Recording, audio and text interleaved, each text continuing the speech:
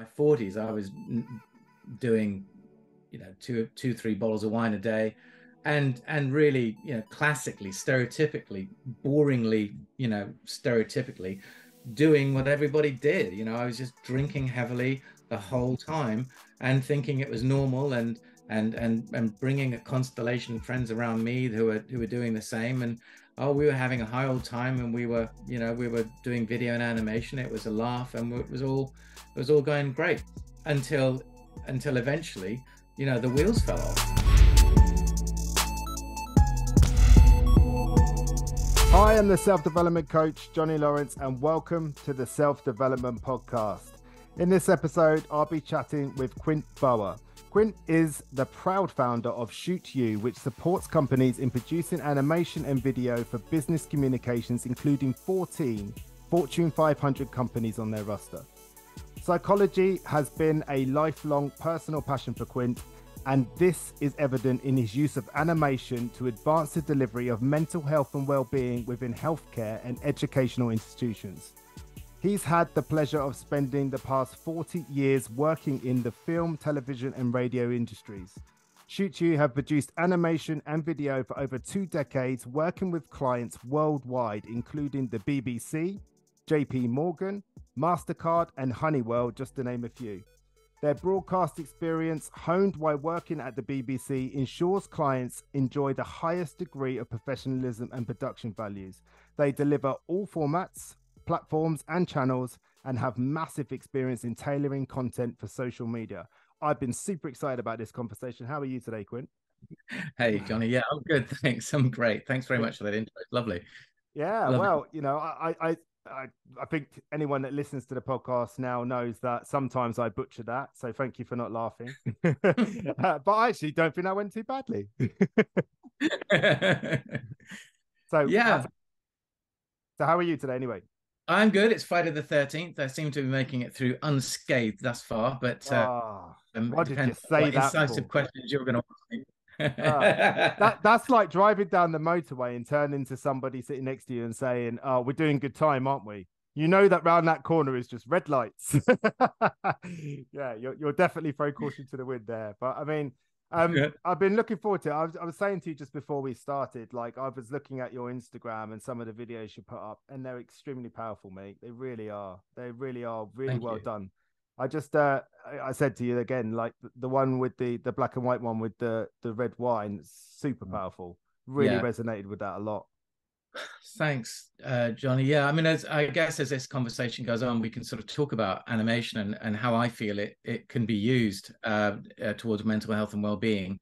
Um, it's only recently uh, become possible to, to to to use it, um, but I think it's really got a place uh, as part of any sort of multimodal intervention on on on uh, any of the presenting problems, really depression, trauma, addiction uh, self-harm eating disorders, you name it. I think there is a place for for animation in order to try and shed some light on the the, the causes and and hopefully uh, some insights onto some curative process as well. Yeah, I mean, come to think of it, I suppose animation is sort of like the early, uh, early years sort of experience, isn't it? It's like we we as children even we watch animation. That's how we fall in love with entertainment and characters and storytelling in some way. Yeah. You know. Yeah, so, yeah. I mean, yeah, if you, if you want to get into it, um, the uh, yeah, animation's been around since uh, probably about the 1930s, where you've got Steamboat Willie and Mickey Mouse, and it goes all the way up to the present day, obviously. Um, but there was a real uh, uh inflection point around 1990s where, uh, with Jurassic Park, basically, and uh, and then Toy Story, which was the first fully animated um, movie, um, and really from then on computers started to get faster, their software started to get better, and now it's possible. Well, around 2014, it became possible for um, companies like mine to produce animation uh, for, for, their clients, which coincidentally was the same time that a lot of the tech uh, became so complex. It was the only way to show it, you know, because you mm. can't actually take a, a mobile phone uh, uh, or a server and make it interesting unless you're showing what, what, that mobile phone can do or what that server can do. Um, yeah.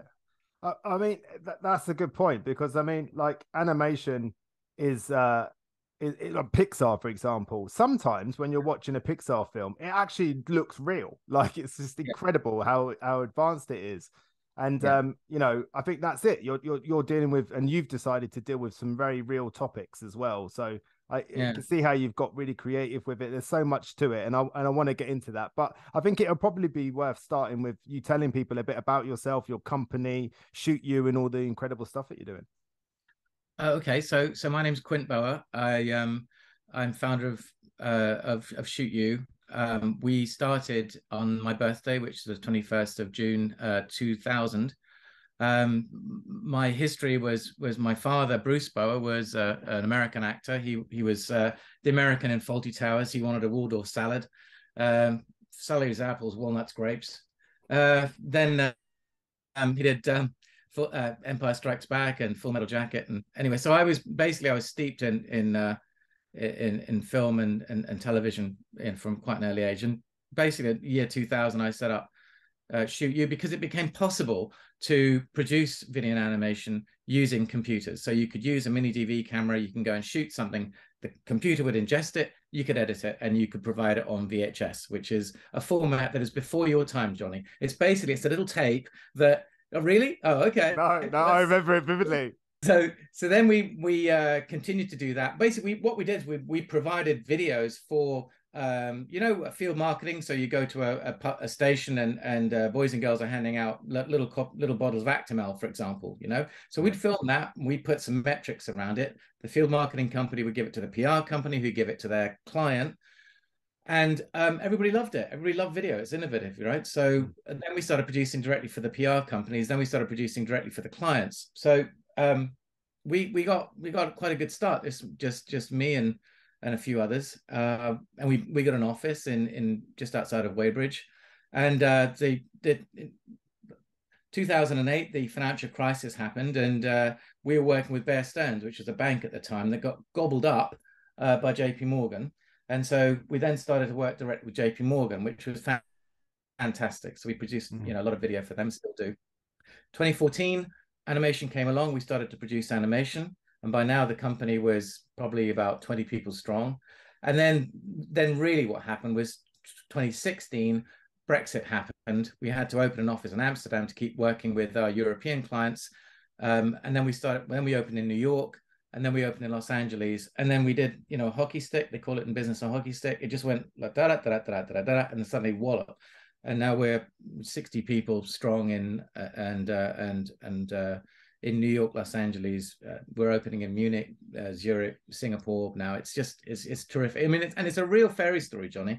Yeah. It's there was no venture capital came in. It was just just you know what happened, and um yeah, and so what's and the reason for that really is is because companies now um, can see video and animation as a communication resource. the internet's there, social media's there, and they all want to use uh, video and animation, which you know is a great tool to communicate ideas. Yeah, it really is. It really is, and and the way that you guys do it as well, the creativity, the fact that they're all so different is just incredible. It really is, and you're you're using animation to get across sometimes quite complicated and complex seemingly um, like psychological concepts or mental yeah. health ideas and strategies. So it sort of begs the question really like what inspired your sort of lifelong passion in psychology? Well the my i had an aunt and uncle. My aunt was marion woodman and uh, as you can see on the bookcase behind me maybe she she uh, she was a jungian analyst and uh, she was uh, one of the first uh, people to identify the sort of the mind body relationship and its relation to, to eating disorders. And uh, and then I had an uncle uh, called Fraser uh, who was very much he was also a Jungian analyst and he was into into uh, uh, dreams. And they were a very big part of my life. So i always had that that that that psychological background that was there. Now they were in canada. I was over here but it did set me on the path of looking more closely at, at, at, psychological ideas such as you know well obviously jung and freud and carl rogers and, and mm-hmm. cognitive behavioral therapy and nietzsche and sartre and all of these other ideas and that's what um, i pursued personally um, and then and then formally um, with an MA and and and with various certificates with you know the the UKCP and and, and BPS and everybody else. Um, and then I started a private practice. So what we have is is kind of two tracks. You got the film, television, and voiceovers, and you got the psychology as well. And that's that's how I lived my life in my twenties and thirties before shoot you got started. And what yeah. in fact I'm back to. Well, that's what I sort of am alluding to, really, because like it's interesting that you you've got this clear passion for psychology and this clear passion for animation and mm. they don't necessarily have to come together but they did and yeah. that that that's where creativity is born when when you when passions comes together you know and they they create that that sort of platform to to get the ideas out there and you know if you're into psychology it can get a bit out there can't it anyway but yeah. you know and animation's the perfect way to do to sort of translate it and get it over um yeah. so what was your experience in private practice? Why did you decide to move away from that? Well, um, I got in, in, I've had a private practice for about four years, and by private practice, I mean that, that I had my own my own setup. Um, I worked with um, charities uh, like Turning Point. I worked um, within organizations, um, and I worked in particular what was called employee assistant programs, which I don't know many of your listeners uh, how many of them will know what that is, but basically most uh, companies, let's say uh, uh, an off license, will have insurance that that if that off license gets knocked over, um, that the staff there will have access to shrinks um, mm. who will talk to them about their experiences, and um, that was that was just coming to happen back in the nineties. Uh, and I was one of the vanguard for it. So basically, if there was a a, a, a major well, a, an incident, whether that's a sort of road traffic accident or a, or an industrial accident or, or, or something like that, they would send in you know three or four people in order to talk to the staff of what, had happened, and using what was then the Mitchell seven point plan, which was developed by the army, um, uh, talk them down. So critical incident debriefing became trauma counselling. Mm yeah and, and the principles are the same roughly that that so when you're dealing with trauma i'm going a little bit off topic. No no at all. Go ahead. When you when you're dealing with trauma what you've got is somebody who is is quote unquote normal who's been faced with an extraordinary event. So you know anybody well god forbid that anybody listening to this should suddenly see somebody knocked down in the street. It is literally uh um, it is beyond words. You know, your, your mind just cannot process it. Um, so what you do is you internalize it, and somehow, in a way that we're only just starting to realize or start to understand with the work of people at Van der Kolk and neuroimaging as well, somehow that that that thing which for which you are lost for words, for which you cannot somehow process yourself, gets stored away, but it comes out in other ways. So classically, it comes out with hallucinations, so auditory hallucinations, olfactory hallucinations, visual hallucinations, and you become wired for, for this. And the next time you, you hear a bang, you think it's a gunshot. Mm-hmm. And of course, a lot of the, the work on trauma has come around with military vets, you know, from the First World War um, up to the present day, and and it's got into the the diagnostic manuals as as post traumatic stress disorder, uh, PTSD, which um, which is uh, which is which is how it's um, labeled today, and that's that's what I was doing. So um, then, but then what happened to me was that um, I saw the possibility of moving totally into a totally different area and I saw the possibility of, of starting a production company and I went into that I didn't let go entirely of the private practice, as we'll see later on in this podcast, because life events suddenly kind of bit me in the ass, and I came back to it. But um, the uh, but it, it meant I sort of let it go for a little bit. Then I came back to to uh, to uh, to and I guess in your words, really merging the two with animation and, and and psychology and psychotherapy, and and and that really is what I'm trying to pursue very very strongly today and, and hope to probably for the rest of the rest of my days. Yeah your story sort of has a real sort of meant to be element to it. It, it feels like you know you, you had to have those two sort of seemingly separate experiences in one in animation the other one in psychology and then i can i can only imagine there must have been a, a light bulb moment of like wait i can do these together this this would be this would be really good this would be really fun this would help people and which sort of ticks all the boxes for most people. But I mean, like, how has that passion for psychology sort of impacted you on a personal level? Well, I and I think I think everyone is a natural psychologist. So so I think everybody uh, it's impacting me the same way that it, that it does everyone else. I mean, hmm. you know, what is the meaning and purpose of my life are are, are concerns for me. Um, you know, family questions. How do I navigate the the dynamics of of, of my family? Um, how do I manage day to day, you know, bills and uh, uh, and and the, the, the the slings and arrows of outrageous fortune that happen to all of us? How can I live my best life? You know, what am I doing? Where am I going? Um, these are all ideas that uh, that even even shrinks think about, you know, and they they uh, it's a, a, a total total preoccupation. yeah. So um, but I mean, I guess what um I mean, I've, I've, I've certainly, you know, come to some conclusions around it. Um, and, and we're living, we are living at a time um, when there is so much more information which informs some of the ideas behind it. So we we just lived through the decade of the brain with MRI imaging and and and, and CAT scans and so forth. So so for example, with a lot of the presenting problems, we can see now the biological correlates of of of, of what's going on you know psychologically. Sorry i'm not answering your question. No no no or maybe i'm avoiding it. I don't know. No no no but I, but that's what you're saying there is is right you know that we have got access to so much knowledge now but sometimes that knowledge doesn't inform it only serves to confuse doesn't it? And we get that misinformation yeah. and a misunderstanding. Because yeah. what i see a lot with with clients especially is they they have this feeling so they feel a certain way and they don't want this feeling. They, they, they don't welcome it. They, they don't want to feel this way. But at the same time as they don't want to feel this way, they're also telling themselves they shouldn't feel this way. They're also telling yeah. themselves, actually, I don't feel this way. And yeah. they're not getting honest with themselves because they do feel this way. and that's yeah. what's important. And until you raise awareness of this thing that you're feeling, that you're telling yourself you shouldn't or you you're not, it's never going to really change, is it? You're never going to evolve. I, I, I mean, I just that's absolutely right. I mean, if we just go back to trauma for a second, one of the things that that that one of the wonderful things, you know, when I said that that people who are in, in trauma are people who are normal people who are who are have been in an extraordinary situation, mm. and so they have these flashbacks, and they all think they are going mad, all of them. Why do I feel like this? This is not normal. I'm going insane here.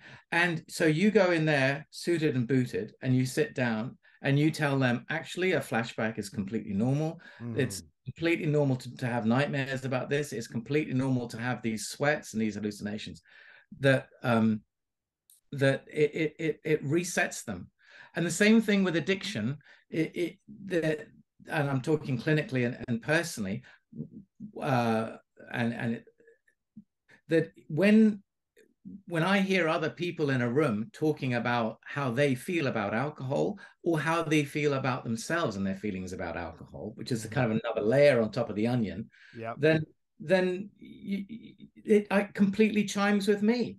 So you got you got the person feeling uncomfortable, then the person beating themselves up for feeling uncomfortable, mm-hmm. and you've got you. It's kind of this ever receding sort of you know hall of mirrors that you've got that really just draw a line through that. You know, yeah. if you could sit down with a pen and paper, you know, cognitive behavioral stuff, and just say, look, this is it, and draw the line there.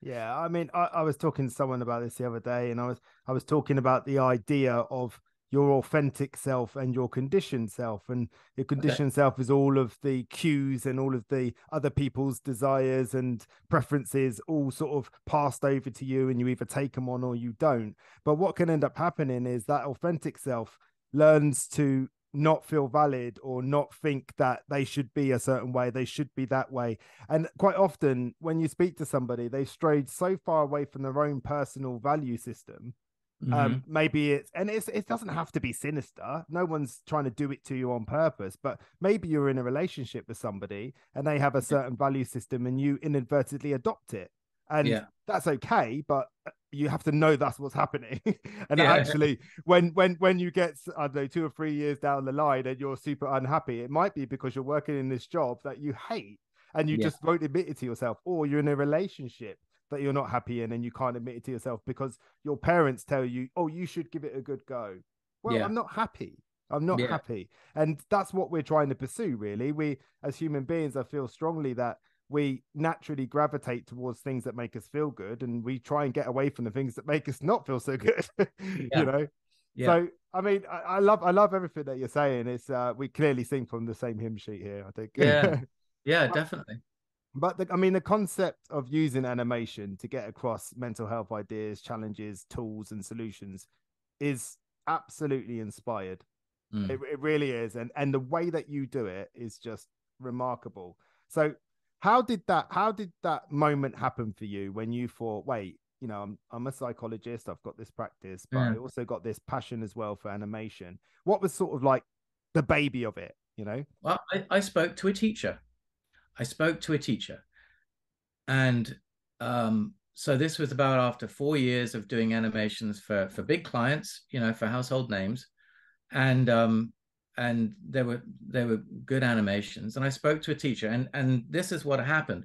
They had a, a, a fight in the classroom, and and she was hit by the by the student, and it was it was just about just raw anger coming out of this kid and and um, she said to me, she said, "You're doing all of these animations for insert name of company here, but but you know that's what we need. We need an animation to so that kids can look at the at, at their anger, not not as anger as as as sort of oh dear you've got anger but looking at the roots of the anger mm. and taking them back because they they they have got enough nous about themselves because they understand that the roots of it isn't you know that that is the that's the straw that broke the camel's back. Some kid calling another kid a you know whatever epithet and and and that kid lashing out and beating seven bells out and then a teacher stepping in and then the teacher being hit too. You know that so so so what i did was was produce the animation on anger which the the school used and still uses to this day where they sit down with the kid and they watch the animation and they say um, and we provide stills from the animation as well what what about this animation spoke to you? You know do you feel less than? Do you feel um, that that the the you know compare and despair that the other kids are getting ahead of you or getting preferential treatment? You know what is it about this situation? Practical things as well. Are you hungry? I mean it's coming up today. You know are you basically just so hungry and tired? You know is there addiction going on in your home? You know i mean that'll start creeping up too. So what what's going on for you that you lashed out at some kid this afternoon because he called you something or she called you something. And it's and and that animation we produced for them and and then it it won an award and it got a load of uh a load of traction. And then um, i thought well hang on this is really handy because if we've got an animation there we can disseminate it using instagram. So i, I set up my own personal instagram account. I did one on on on uh, alcohol which was the same animator then on trauma, then on depression, then on domestic violence. Um, because we were sorry to put some context around this. This was COVID, right? This was this is coming off of the back of COVID. So of course we've got these double-digit increases in every single presenting problem, and the healthcare services were and are completely overwhelmed. I mean, good luck getting an appointment with CAMHS right now. Yeah. You know, um, and and and this was a way of of for for kids to access a, an animation anonymously on their mobile phones, you know, to have some practical tools to deal with things, to some some information to maybe call, you know, Samaritans, Childline, you know, whoever. And and and for the teachers as well to to look at their own anger, last but not least. I mean that mm. that that came out of it because yeah. Kid, the the teachers have got as many you know challenges as as the kids often. Yeah, you're, you're so right. I mean, that stuff you say around anger, it's so complex. It's so yeah. complex because anger essentially is is a reaction to an emotion. It's not an emotion. You know, so you've got controversial. You've got some, well, well, yeah, yeah, well, yeah, it is. But you know, that's the view I take anyway. I take the fact that if somebody says to me, "Oh, I'm angry," I, I I'm always angry. I am angry. They're making themselves angry for a start because they're they're telling themselves that's what they are. But my question is always the same: What are you angry about? Oh, yeah. I and and we we dig deeper, and they're angry about some form of resentment or neglect or um, some really other difficult emotion, loneliness, whatever it is. But Yeah. that's that's the emotion essentially that you were experiencing. Anger's difficult. Most of the time, you just look at someone who's angry and you kind of just got to wait for them to stop being angry, or they need to find an, an angry outlet of some kind. But it Yeah. sounds to me like what your what your animation did first and foremost gave a much search for permission to these kids to to to communicate, but it also offered them the language to communicate because Yeah, without without them animations, they don't have anything. They you know they're not adults. They don't have Yeah. decades of experiences to to draw upon to be able to sort of articulate how they feel. So instead, by showing them this animation and them asking in them questions, you're offering a language to them, aren't you? A way to communicate. So so the way that that that it was expressed to me was that the kids up to up to puberty they're the authors. If we take the idea of inner narrative right? So up to the age of of maybe 10 11 12 they're the authors. Sorry they're the actors of their lives. They're just acting and they and it's all happening to them and they're just bobbing along with it you know? But then when puberty hits they become the authors. They start to develop an a narrative right? Now to your point the animation gives them permission to engage in alternative ways of being. So now you've got a perception right? Now they're one step removed from their behavior. And if the teacher can catch that then then you got a chance of maybe looking at another perspective and and another way of being. I mean, that's really powerful stuff. Oh, that is. And what I can hear in that as well is it offers them the opportunity of choice. Ah, Because at, at first it's like this is just the way I do things. But when you go, yeah, yeah, it has been. But now I'm saying to you, what about this? What about that? You've now got a choice because you've been you've you've gained an understanding of another way of doing things. Until then, it's like I was talking to someone the other day and they were telling me about something to do with their partner not communicating. So Yeah. I quite controversially said to them, speak to me in Chinese. And they said, Well, I can't speak Chinese. I said, No, but I want you to speak to me in Chinese. And they said, um, Well, I can't. I said, So you're telling me there's nothing you could do right now to speak Chinese to me? I said, Yeah. I said, Well, imagine if Chinese was communication. If you don't know how to do something, you can't do it. And it doesn't matter how much I want you to, how much I ask you to, you're unable to do it. You know, Mm. and I think what you're doing there is you're first of all giving them permission, which children, children need permission often. Um, Yeah. And then you're giving them the language, and then you're giving them some tools. I just Yeah. think it's fantastic. I really do. Yeah. I really Oh, good.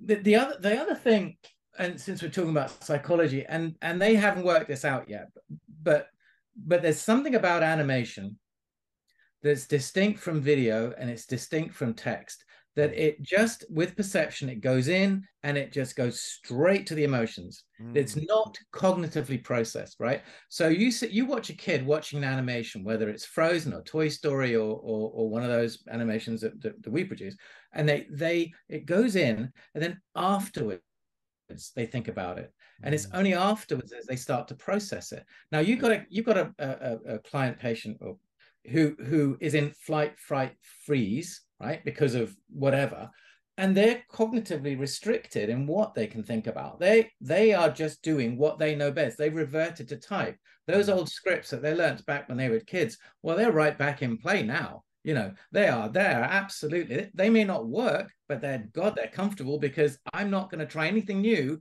while i feel like this. But Mm. somehow you give them an animation and you know what it's not threatening you know and and if it's if it's the thing is johnny right if it if it's actors and we've done this with unicef we've we've we've we've tried this in on um on a couple of animations but if if you use videos where there are people you're looking at a person and you're starting cognitively to look at that person right?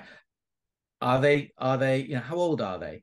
Are they black or white? Are they gay or straight? And they you start looking at that person and your prejudices start coming through and you're not listening to what's going on. You're somehow engaging another part of your brain and and that story is going to start to have a narrative before you've even seen what's going on but if you've got an animation right and bear in mind right it doesn't have to be a person it it could be a teacup you know it could be a it could be a stapler it could, we could anthropomorphize that light. I mean, Pixar does anthropomorphize, you know, angle poised lights. That's their bloody company identity. Yeah.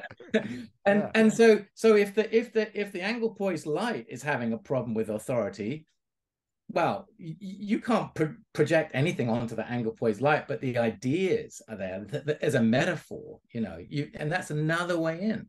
That's so powerful. You're absolutely right. It's, uh, it made me when you were talking there. It made me think of Beauty and the Beast, Disney's uh, Beauty yeah. and the Beast, where you've got teacups and teapots and house, household objects sort of communicating and all that sort of stuff. That's really interesting because you're right. Like those prejudices do creep in, right or wrong. They're there. We we we, mm-hmm. we got brought up a certain way, and our conditioning, our programming, whatever you want to call it, is is going to take over. You know, that's why they tell people in the military trust your training, because when, yeah. when when emotions are high, trust your training, because um, you're probably not going to cognitively make any very wise decisions. Yeah, but but yeah. the other part of it as well is it sounds to me like you're taking an approach of you know with children they don't do what you tell them.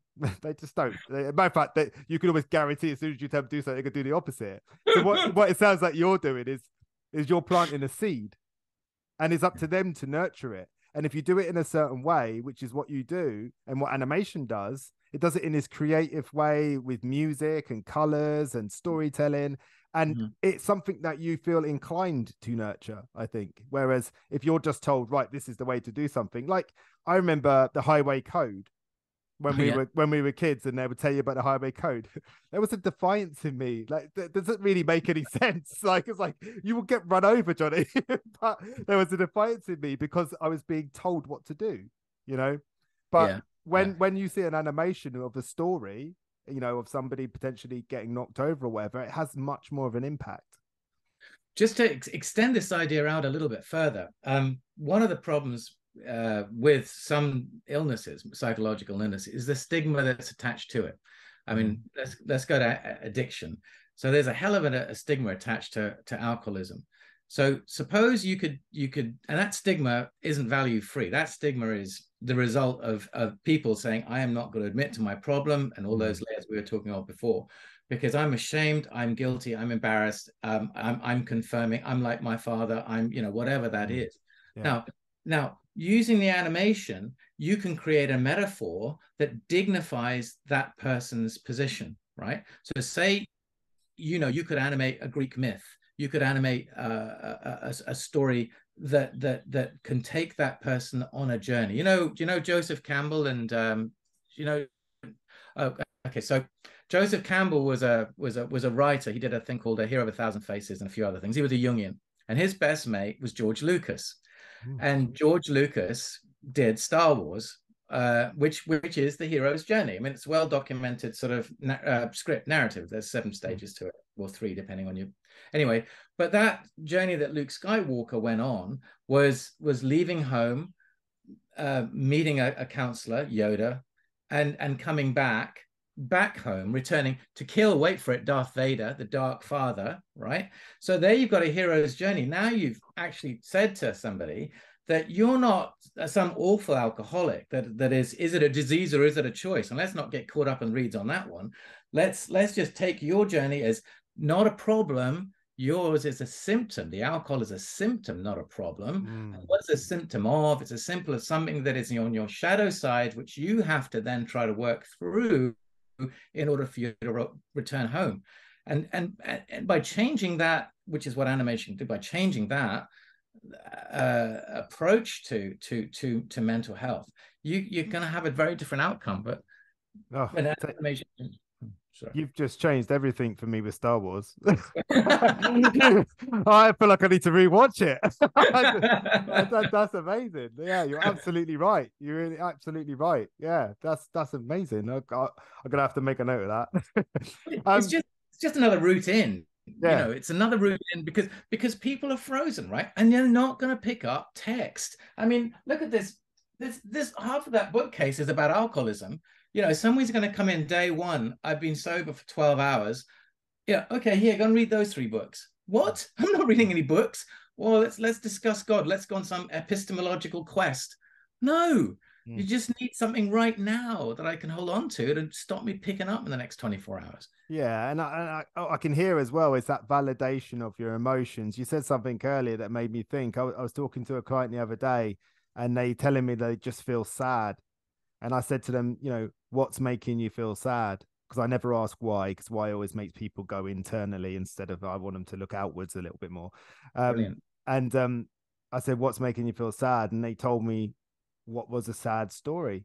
And all I did was I wasn't telling them anything. I was just acknowledging, well, that's all very sad. So it sounds like feeling sad's the correct response, you know? Yeah. And, and it, it, it's like we we feel like we're that that's wrong that we shouldn't feel sad when sad things happen. But no we should validate our emotions. It's this is yeah. sad and it's okay to be sad but it's that addiction that leans towards the avoidance of being sad you know? I don't want to feel this way so i'm going to outsource my emotions to alcohol or drugs or or, or sex or or gambling whatever it is you know?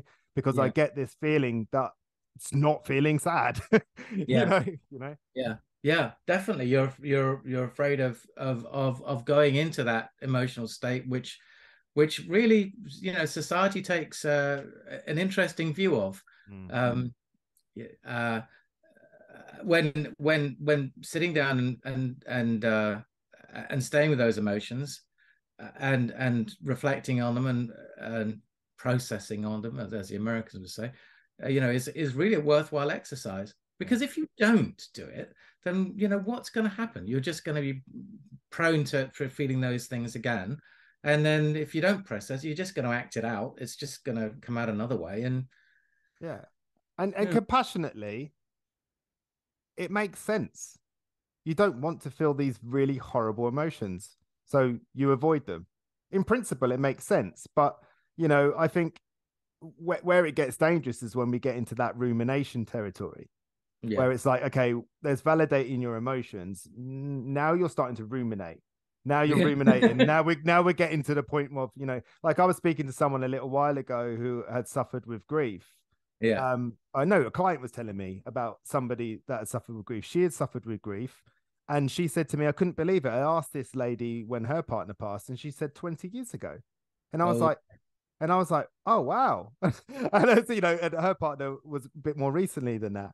And two things happened to her. One, she was like, "Blimey, I've got another X amount of years of this sort of thing." But then she was just like, "Why are you? Why haven't you let go? Why haven't you moved on? You know, what are you holding on to?" Sort of thing. And I think that's where addiction is born because there is this this familiarity and the comfort of ruminating around things that make us feel sad, you know? Mm-hmm. And it's like, it's mm. a shame and it's a real trap, you know? And that's where I want to sort of come on to sort of your experience with addiction. I mean, would yeah. you be kind enough to share that with us? Sure. Um, sure. So I, um, my father was an alcoholic. Um, he, uh, in the very broadest sense of the words, you could say he was a functioning alcoholic because he, uh, he, um, made money. Uh, you know, he did three uh, TV commercials. He did one for. Moritz cigarettes. He did one for um, Double Diamond beer, and he did one for ski yogurt, and they were three grand each. And this hmm. was back in 1968, where you could buy a house for for for 12 grand. You know, right. so so yeah, everyone just take a moment and just remember those days. yeah, tissue. Would you like yeah. a tissue? you, you, you, couldn't buy a brochure for that, right? it's, it's, a bit crazy. so oh, wow. so he so he he managed to, and then you know with Empire Strikes Back and and, and Full Metal Jacket, and if he's successful. If anybody wants to IMDb him, you can. Bruce Boa, and and uh and so but but the house was i think there's a scots expression uh fur coat no knickers. Mm-hmm. you know so so we had we had the, the the house but we didn't have any money you know so my mother went out to work and uh and and we were left at home with with a guy who was let, let's put he's pretty volatile right? Let's just leave it there. I i um in my 20s i was dabbling with alcohol and and in my 20s and and and 30s that that tolerance level went up or whatever happened i was i was getting more and more involved with alcohol so to the point where i eventually in my uh in my in my 40s i was doing you know two two three bottles of wine a day and and really you know classically stereotypically boringly you know stereotypically doing what everybody did. You know i was just drinking heavily the whole time and thinking it was normal and and and and bringing a constellation of friends around me who were who were doing the same. And oh we were having a high old time and we were you know we were doing video and animation. It was a laugh and it was all it was all going great until until eventually, you know, the wheels fell off, and um, and through a series of of of rock bottoms, none of which were were, were terrible honestly johnny. I mean I, I i didn't flip my car. I didn't you know i was a i was a genial drunk. I never hit anyone. I um i um i didn't lose my job because you know basically i was i was the boss. Um nothing actually terribly happened and there's a few incidents but but i just thought i cannot cannot continue to live like this you know mm-hmm. waking up in the morning craving alcohol at you know at 8 30 in the morning are you kidding? What you know but but i couldn't stop. I just i tried everything. I tried to reduce the quantities. I tried to reduce what i was drinking when i was drinking it you know the weekends on the weekdays off and i just couldn't whatever i tried i couldn't stop it. So i bounced in and out of aa a few times every story they said in there that's not me i couldn't identify with that. You know they flipped their car. I haven't done that straight down to Oddbins you know. And then back in about three months later no that's not me again until eventually i found a little group in richmond um, which uh, they they they were my tribe. And they just said look you know just come and stay with us if you want and and and hang out. And those are the people that were and still are you know my my best buddies. And and that's been that was eight years ago. So um but a day at a time, obviously. I um, and and the road to recovery was was the sort of the pink cloud to begin with and everything was going great and then as they say you know if you want to find out why you drank just stop drinking mm. and, and, that started all bubble up and uh yeah. so i started to deal with that yeah. and uh and continue to deal with that but god you know it's a hell of a lot better than just running running running running and just thinking, what is that thing that's in the back of my mind? You turn around, face it, and you can right size it and deal with it, and then surround yourself with people. You know, I do, I do believe that the opposite of addiction is connection, mm. um, and and AA has been terrific for me. Um, the uh, I, I'm God light, so I, I, you know, in terms of God, I see it as an acronym. I know there are Bible thumping AA twelve steppers out there who'd take exception to that. But I mean, I think I see God as a as an acronym. You know, like it's a great outdoors, or it's a group of drunks, or it's a generally order general orderly direction, and um, that's that's kind of where I'm coming from.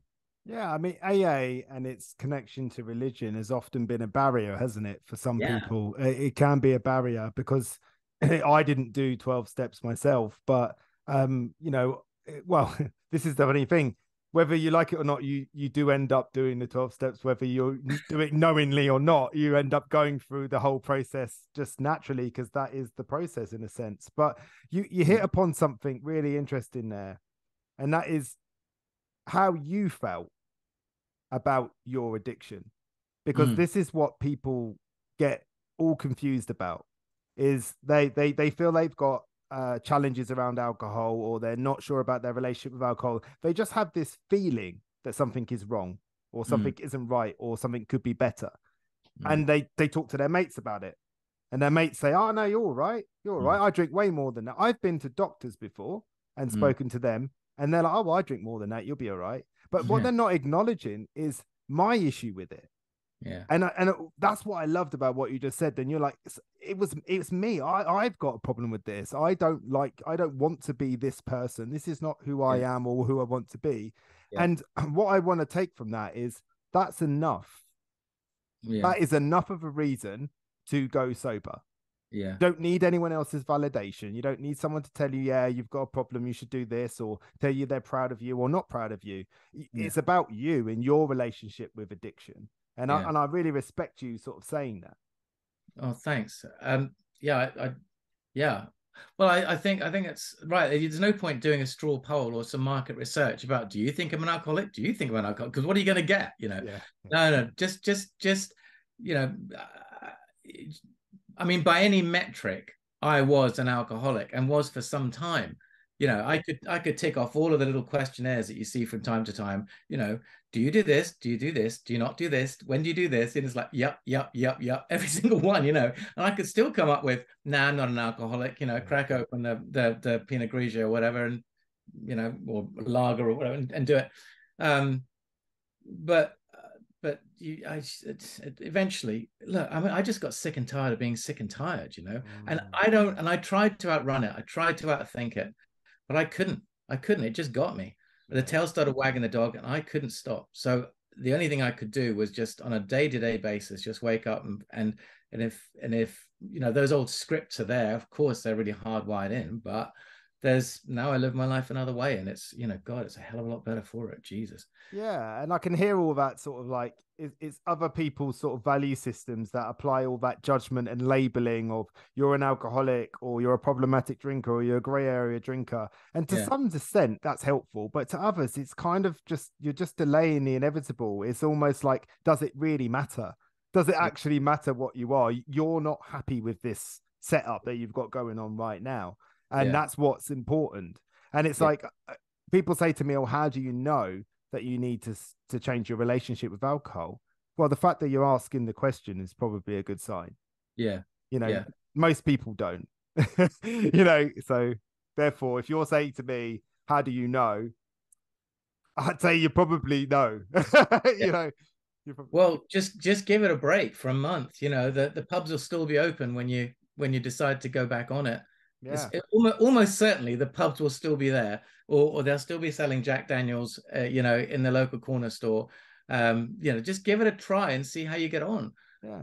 Um, because um, because for for me personally, it, I mean, it was just uh, it just was a revolution in, in my life. It was an inflection point that that um, I once I got a, a couple of weeks under my belt, um, I I just never looked back, and I really um, I I just you know I I'm so pleased being sober and, and putting uh, closing that chapter and, and and putting it behind me. And but I but one of the things that had come out of it is you know what is that in the wire? What was that? What was that line that um, he said? You know, it's all in the game, isn't it?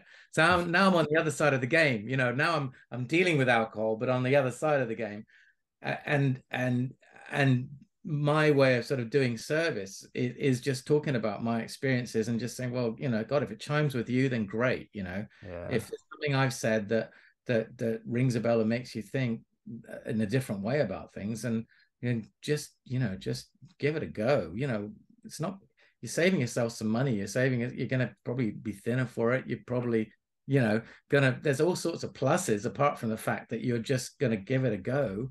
Yeah Otherwise, what? I mean, one of my favorite things is is is this idea of the straight and narrow. When you you know, people say when you go on the wagon, you're on the straight and narrow. Nah, when you're on the when you when you're sober, you've got options. It's when you're the alcoholic that you're on the straight and narrow because you know where you're going to be. You know when you're going to go to the offie. You know how you're going to feel, and so does everyone around you. Right? Mm-hmm. That's that's not freedom. That's just some sort of uh, uh, hyper controlled way of, of of living that that there's no then the only way to break that is to go sober because when you got sober you got options. You got different ways mm. you can think about things uh different places you can go you do be feel yeah. know, options. And, it, and it, it, no one says it's easy. And i love what you said there about if you want to know uh, why you drink stop drinking because that was said to me. And that was oh, really? a, that, that was a turning point to me. My my uh my mentor Maliki Dunn, he he said that to me. He said a lot of things to me, like them sort of little sayings like that, and it's true. It's so true because to me, there's like there's there's two initial steps. There's obviously the abstinence of alcohol, but yeah. then all of a sudden it's like, oh, I can't outsource my emotions. What is this feeling I'm having? I, I just wanted to, you know, my dog never got walked so much when I, the first two weeks when I when I wasn't drinking because I was just like, I don't know what to do with this feeling I have. And that's when I realized that I don't have cravings. This inanimate object, this bottle of liquid doesn't have control over me. I offer it control. Um, yeah. so it's like, what am I, what am I doing here? What's actually happening? Oh, I'm experiencing emotions and yeah. it's not a it's not a um a craving it's a resp- it's a reaction. Drinking is a reaction. It's it's not a craving because this bottle does not have that control. It cannot.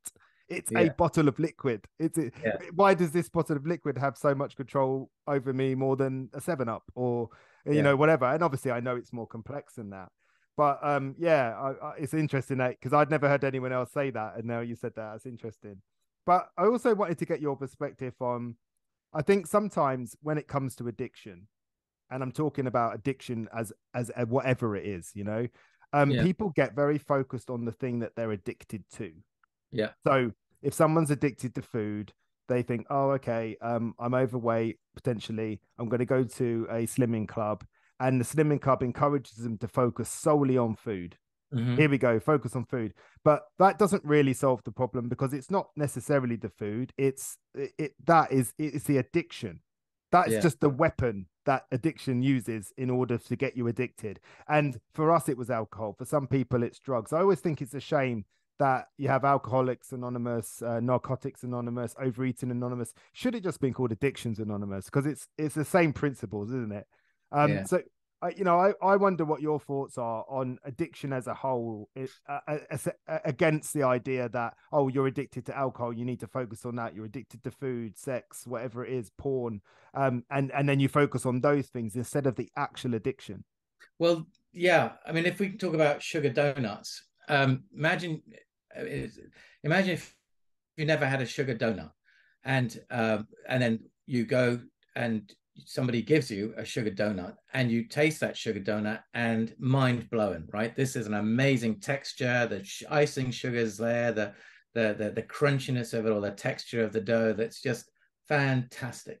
And and then you go away having finished the donut and you think oh I, you know what i really fancy another one of those donuts. And that's the arousal curve starts then. It's mm. the anticipation of the donut and, and neurochemically, there's and this is where there's some really interesting research. Neurochemically, what happens is just thinking about it starts the little that starts the band playing, right? Mm. So the dopamine's going in there, the endorphins are going in there, and and you're starting to think about it.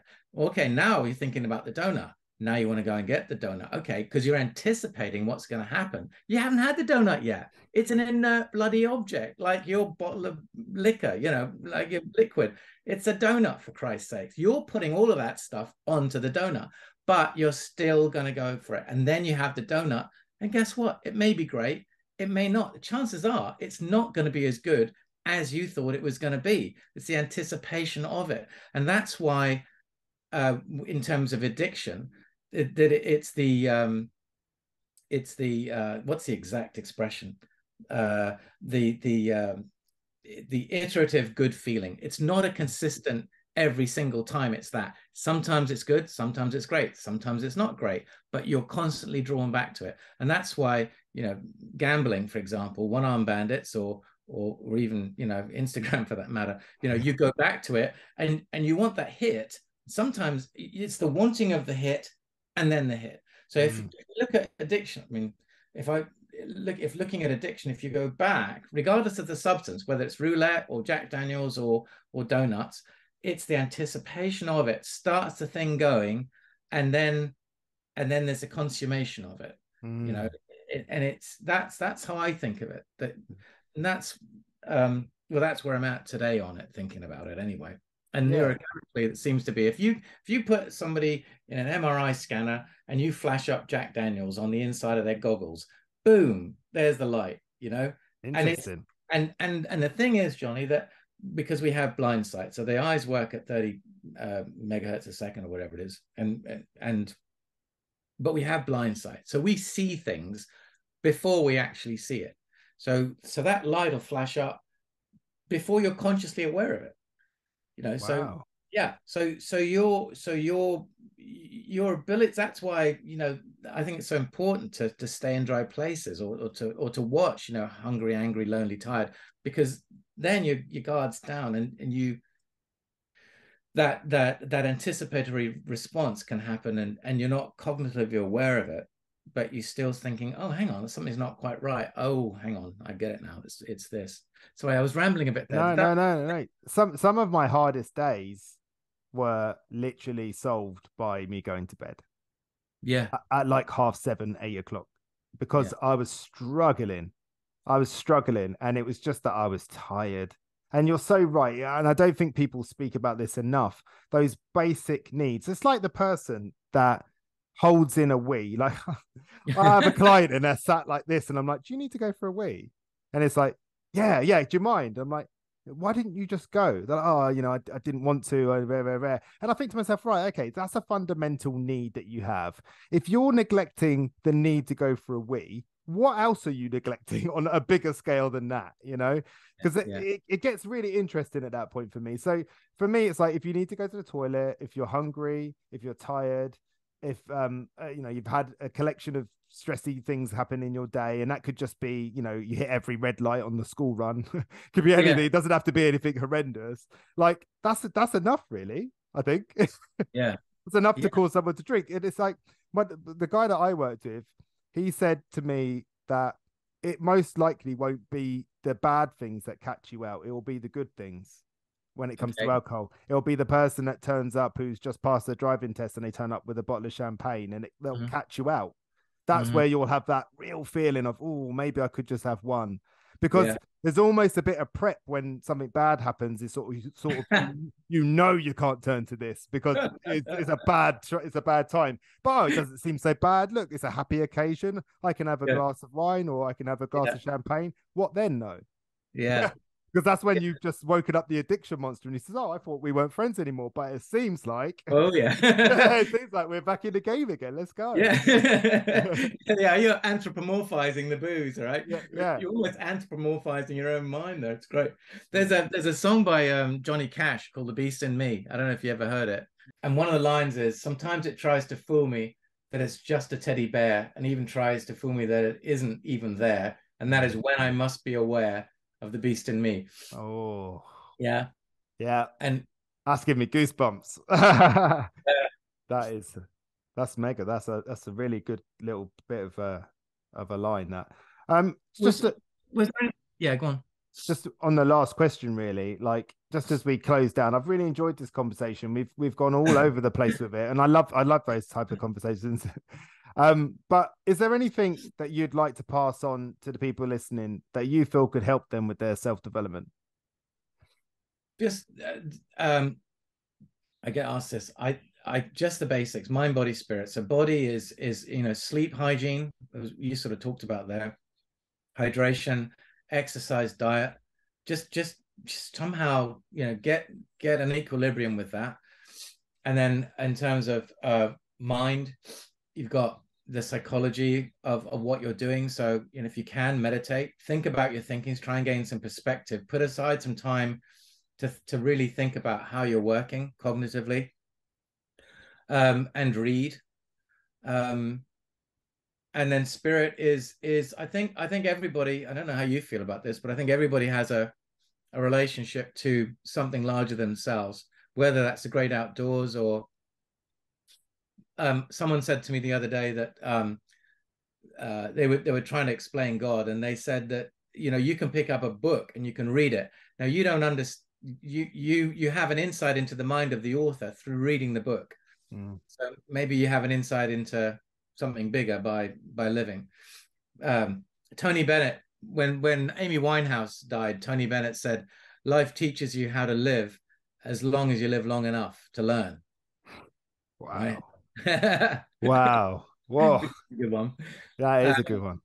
Uh, so you know, as we go through life, you know, you've, I mean, clearly, you know, you're you're very very self aware and and and and you're you know you you learn you pick up these things as you go on and then you can mm. you can design your life and and you can see where uh, but it's it's everybody's personal journey it's everybody's personal process and i think we're too caught up on people dealing with uh, you know with rote with authority with tradition um, or or by put down by by by uh, by society uh, or by parents you know i mean you know the the top 10 uh, um, wishes of the dying um, there's a there's a book called the top 10 wishes of the dying which was written by a palliative nurse Mm. And number one or number two up there was, I wish I'd lived my own life. Mm. I wish I'd lived my own life. And yeah, ouch. yeah, blimey. Uh, that, that that's uh wow. Yeah. I mean, I get that feeling. Uh, I, I I would never have classified myself as a spiritual person um, mm. until I went sober. And then spirituality just kept popping up everywhere for me. And where I found it the most the the place that gives me a feeling that I don't get anywhere else. That's that I don't know how to articulate is is any form of mountains. Oh yeah, yeah. Whenever I go to Snowdon or Scotland or um, anywhere like that, just you hear kids especially say awesome awesome and it's like when you really think about it like you're in awe of something i just it literally makes me speechless when i see mountains yeah. i don't know what i can't believe what i'm seeing it just it creates a feeling in me that i can't get anywhere else not even from alcohol you know so i know that if i'm struggling a little bit it's time to plan a mountain trip you know and and do some mountain stuff well isn't that something so so you see you have a sense of the miraculous in your everyday life Mm. And you can connect with that. Yeah. And I think that that is fundamental to to it because I mean, is it fair to say, Johnny? I mean, phrase it as a question. That that the more people get involved with addiction, the, the, the less open to there being something outside of their particular relationship to something. It becomes very, very confined, claustrophobic. Yeah. They can't see beyond that dynamic. Yeah, yeah, you're right. And Go ahead. Sorry. No, no, go on. You, you in the mountains. It's... Yeah, but I mean, it's like people describe alcohol as as like the devil's juice and stuff, and it's like you can see why because it does. It stops you from like I I didn't care. I've been on. I went on mountaineering trips before, and in Scotland, I went because it ended with a pub that was filled with whiskey. so I literally endured five Munro mountains just to drink whiskey at the end. And I look back now and I don't remember doing it. And it's like, that's ridiculous. You know, that's yeah. ridiculous. Like, uh, I'm going to stop short of being unkind to myself. But now I'm doing the mountains, you know, and there's so much, there's so many metaphors you know, with the with the mountains, climbing up the mountains, doing hard things, enjoying the journey, getting to the top, summiting, all them different things. And yeah. I, I just love it. I love it. I remember I got to take my wife and kids to Snowdon a few years ago, and I I always um like to to to to lead on the mountain. I like to have the map and the compass and all that, but I lead from behind because I like to see everybody. So I was just watching my family just experiencing the mountains in different ways and going through these different experiences one minute someone's really struggling and it's really hard like steep climb next minute yeah. they're they're in awe of a lake or some snow N- next minute they're laughing at a sheep going for a poo or something you know and it's just all these little life happening moments you know that that you didn't expect and when you see it you're just like this is amazing and you just really you, you learn this real appreciation I think it's the word. Yeah. Yeah. Yes. I, I think you're you're very lucky to have that. That's a wonderful that's a wonderful thing to have, isn't it? Yeah, I don't do it enough. I'm I'm realizing that in this moment. I don't do it enough, definitely. but another well, thing that you said was was great was like almost like that you're gesturing towards the idea of making appointment with yourself Mm. You know, our diaries are full all the time with all these people we've got to see, whether it's virtually or in person. But when mm. do we actually make an appointment with ourselves? And, you know, you alluded to potentially meditation or just some reflective yeah. thinking. But yeah. the whole idea is just spending a time, a moment to check in with yourself and just yeah. ask yourself, how you doing? You know, yeah. You all right? yeah. yeah. Yeah. And and to sit down with a piece with a pencil and a piece of paper and just you know just draw out some of the ways that you're thinking about things to to try and you know use another part of your brain to to to examine maybe there's other ways of looking at things mm. what are the alternatives and and um and they come up they do come up there's you know as einstein said you know you either treat life as if it's just uh, not a miracle or you treat it like every second's a miracle. There's enough going on just inside our bodies right now that we have no control of whatsoever.